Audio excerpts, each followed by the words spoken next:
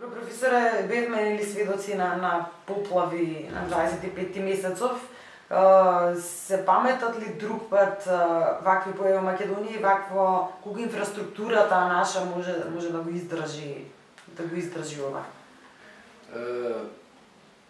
постои кратко паметање, синдром на кратко паметање во Македонија и тој синдром ни обезбедува да нас секоја година какво и да е мало снегчето ќе не изненади, колку и да е мало дошчето ќе не поплави. Значи, нас не држи на почетни позиции цело време таа приказа. Факт е дека пред една-две децени не беше така. Имавме системско паметење, значи постоја органи, организации, институти, институции кои што мора да водат собствена грижа за оноа, оној дел од јавното добро кој им бил доверен. Да кажеме, каналите ги развиваше каналите за довод и одвод, за наводнување и одводнување, кои што системот на канали за мелиорација и за одводнување на, на водата е практично клучен за менаджирањето на големите катастрофалните, односно периодичните затоа што тој во себе а, го има, кога е развиен добро, го има развиен а, оној, така наречениот бафер систем, значи систем на амортизација на голема вода. Mm -hmm. тој има капацитет со самиот со самиот капацитет на каналите помножени по километражата и тие канали најчесто имаат своји разни а, депонии и устави каде што како езерца кои што им го зголемуваат тој капацитет за амортизација на големиот удир на маса на вода. Тој капацитет секогаш ќе го прими бранот на дали се од нагло истопени снегови или се од најчесто од многу а, такви издашни, богати да. порени дождови, тој првиот бран на изливање, после кој што следните бранови на вода веќе идат во своето ниво и само ја зголемуваат штетата од поплавите. Тој прв бран го, го покрива, односно го амортизира, го прима и го облажува одржуваниот, димензионираниот, цело време спремниот систем на канали, езера, устави и резервуари. Ние тоа го имавме, тој систем. Во цела Југославија, бивша, тој систем беше а, следен и компариран со најажурните и најразвиените системи за менаджирање со големи води во светот. Значи, само некои земји од типот на Холандија, кои што се светски пример mm -hmm. за ингениозност на човечките цивилизации и нивното управување со води, односно и повеќе од тоа, нивното буквално господарење со тој огромен ресурс, ние бевме високо котирана земја, како земја која што финансирала огромни средства во инфраструктура што ја обезбедува голема, голем процент на наводнетост, голем процент на регии кои што се во состојба да обезбедат висок степен на безбедност од поплави. Што се сега имаше извештај по повод овие поплави, а тој е уствари од пред некоја година, затоа што поплавите последните години се повторуваат. Ние имаме неверојатно кратко паметење. Секоја година се излива во Македонија водата, само што кукаат, не знам, од Тетово кукаат после од ние ќе излезе градоначалникот и адиос. После некое време ќе се појави, еве, се сеќавам за кампањата за изборите од 2011 се појави премиерот и вика ние 70 км канали изчистивме. кај нас има 700 км канали од оној прв бетонски ред. За сите други насипи канали да, да не зборувам, немам такви податоци детални, одамна не сум се бавел со со таа приказна, за тоа има стручњаци кои што се бават со проблемите на хидротехниката, нели? А, ние не сме во состојба да изчистиме за, за 5 години или за 10 години 10% од тие канали. Значи немаме тео, немаме мозок цивилизацијски во владата, во министерствата. Немаме институција која е задолжена за тоа. Немаме ставка од буџет која секоја година оди во Значи не е работата само да ги одржуваме Тито, тие канали што Јосип Брос Тито ги изгради пред 30 години. Или 40 или 50. Значи не одржувањето на каналите е причина што Суштинска причина е неодржувањето на каналите или е, неадекватното развивање на систем на канали и тој е, бафер систем на е, примање на резервоари на вода кои што треба да ја примат големата вода. Затоа што гледаме дека со отоплувањето на земјата, практично испаѓа дека е астрономски условен процес, на кој што човечкава цивилизација, нели, кратковида, само му допринесува со емисии на метан, на CO2 и така натаму, гледаме дека постојат веќе прецизни показатели дека секоја година природата по однос на климата, води, тајфуни, циклони, веќе каде какви има проблеми, нели? Дека станува побесна дека амплитудата се зголемува. Помеѓу зимските овие меќави и летните олуи, односно тие оркани кои што носат влага, вода или или оркански ветер. Е сега, човечка цивилизација стана толку проширена глобална само заради интелигенцијата со која што уме брзо да се справува со околината, со природата, со природните и со создадените проблеми. Ние покажуваме не е, она мрзливост на, на умот како влада, република, генерал, да, да. обштество. Не само мрзливост, игноранција, незнаење, значи чиста глупост, него активен идиотизам, затоа што ние ние ги уништуваме, односно со неодржување ги множиме полека со нула системите, инфраструктурите кои што сме ги добиле од нашите татковци. А да не збориме дека не сме изградиле ни еден метар повеќе. Ни еден саглам, колектор, канал, систем на канали и така. Така да нема што да очекуваме. Сите средства Целото внимание на оваа цивилизација е во дневно-политички маркетинг, површинско лажење со демагогија, пропаганда, голи лаги. Значи, ние сме сега на нивото на онаа последна фаза од распаѓањето на римското општество, од која што остана панем ет, од Киркенсес. Демек, леп и игри. Се крена многу паника меѓу меѓу граѓаните. Имаше ли како прво потреба од таква паника, односно дали е можно паника да беше прециза затоа што се стравуваше дека може да ни се случи она што се случува во Србија во Босна? Колку е возможно Македонија да да доживее?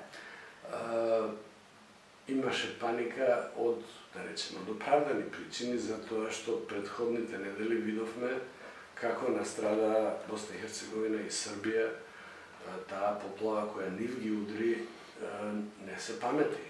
Значи, колку што тие запишуваат, кај нас нема многу длабоко во минатото записи, меѓутоа од австро-угарскиот период на Босна и Херцеговина постојат записи. Значи, тоа е од после 1878 година, која потпадна по Австро-Угарија, постојат записи.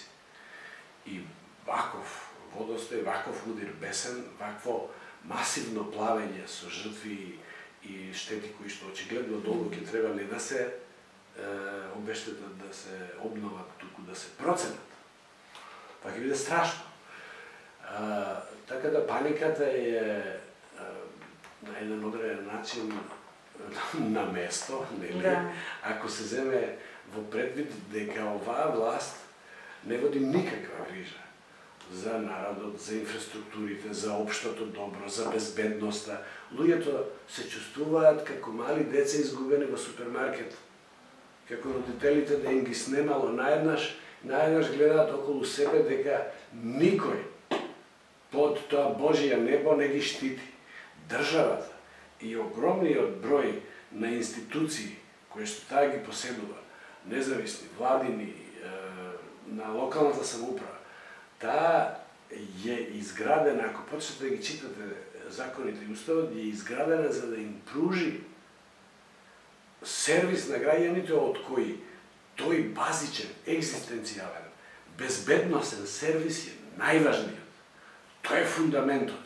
Едно општество е просперитетно прво ако на своите граѓани им ги обезбедува со основните слободи, затоа што нели, да си упаднам сам себе у збор, не може да постои слобода без систем да. кој што не нуди безбедност. Која е, која е таа слобода или геомити права ако ти се грижиш секој ден дали куќата ќе ти се лизне заедно со децата да, по да. лизгалиштето, да. односно у тој непредизвикан некој катастрофален трзај.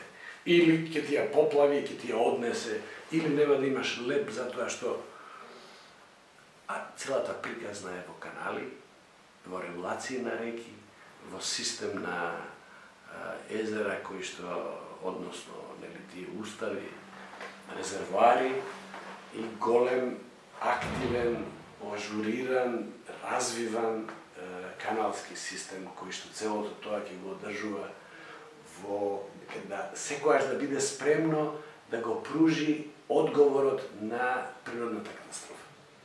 Не се почитувани почитуваните препораката на Кинзо Танги дека не сме да се градат објекти на 20 метри од коритото на, на Вардар. Сега ние тука гледаме многобројни инфраструктурни објекти. Колку ова допринесува за Видите, тоа што е изградено во рамките на проектот, така речениот проект Скопје 2014, одговорно ви тврдам дека нема такви записи на некоја цивилизација, некоја влада, некој деспот, апсолутистички монарх, тиранин, значи што и да е, никој така идиотски, толку недомакински, малумно, штетно, глупо. Не постапувал со најнеобновливите и најдрагоцените ресурси на еден град, на една држава. Просторот е најважниот ресурс.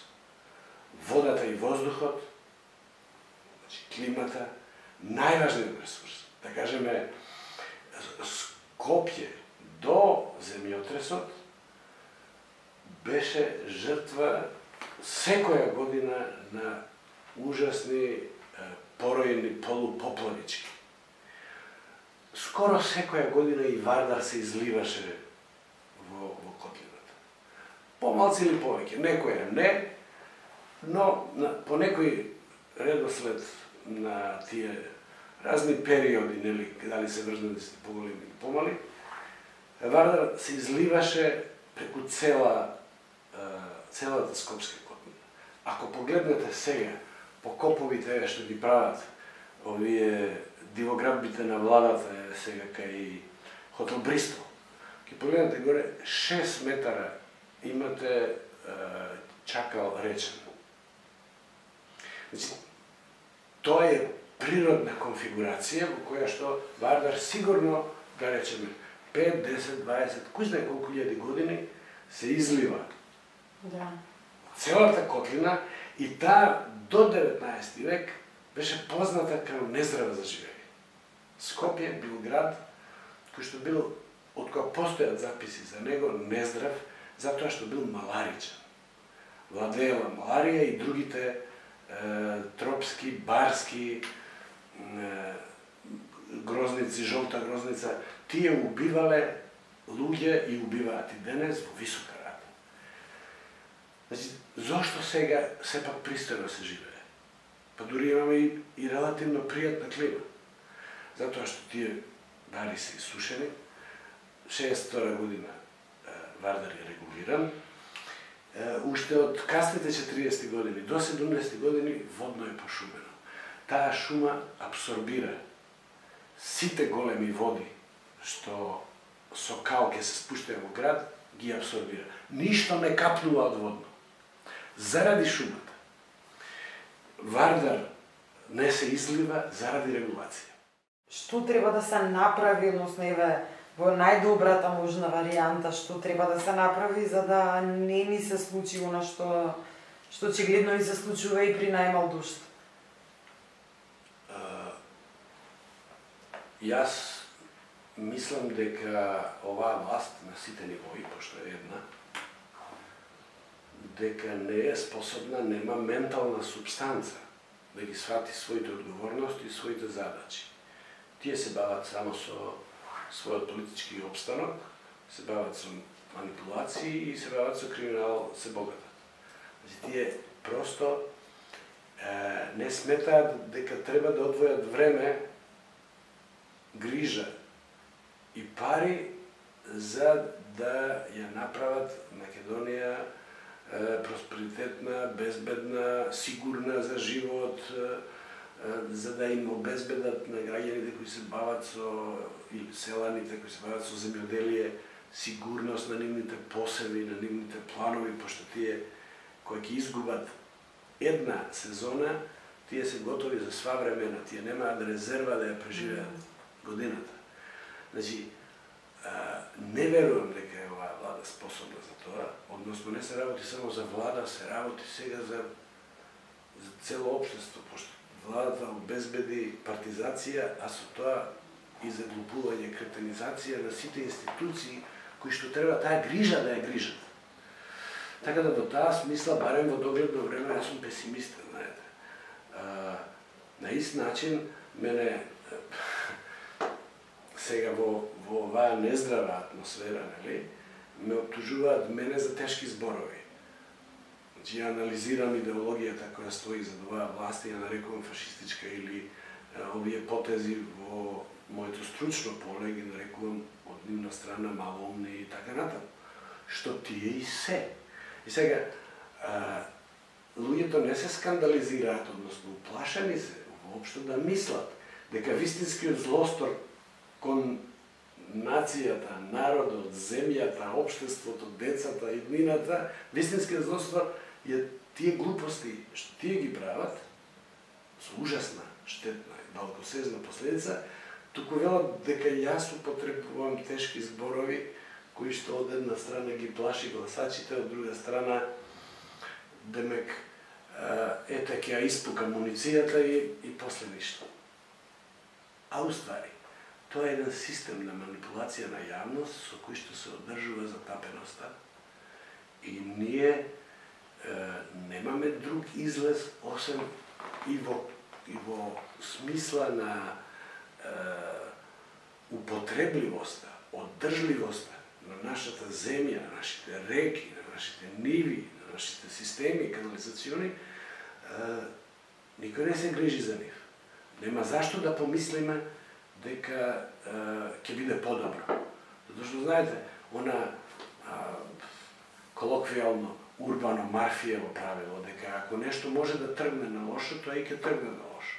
А уствари, тоа е еден королар, како да речем, популарна варијанта на вториот закон на термодинамиката, кој што е најверодостојниот и најпроширениот физички закон А тој кажува дека енергетскиот ниво на Вселената непрекидно се деградира. Тоа е закон на потрошувачката. Значи работите одат од лошо кон полошо природно. Човековата интелигенција, човековата култура, човековата организација, моќ на планирање, одговорност да мислиш на идните генерации, да мислиш на оние што не ти се пред очи, што се посиромашни, позагрозени. Значи, тие својства, тие доблести на човекот и на човештвото и акцијата, заедничката, обштествената акција која што ќе произлезе од тоа позитивно мислење, само тоа ги спречава работите да идат од лошо кон полошо. Таму каде што е тоа можно. Кај нас, владата и со тој скудоумен капацитет ментален, и со интензивната политика на заглупување на затупување на институциите, на стручњаците, ќе затопуваат исто, и на целата популација, практично го прави обратното. Таа е сега јавачна апокалипсата, таа е јавачна она природна ентропија која што ги руши планините и ги носи како кал во, во морињата. ние сме сега во забрзано распаѓање ја, освен несмена на влада, освен смена на купната власт, смена на свеста за тоа што власта треба да биде. Значи, крупна обштествена реформа. Револуција. И тоа револуција која ќе не врати на патот на кој што бевме во од 90-2000 години рани, барем со нашите мисли и желби. А тоа е патот на една рационална, одржлива, демократска и слободна цивилизација, обштество.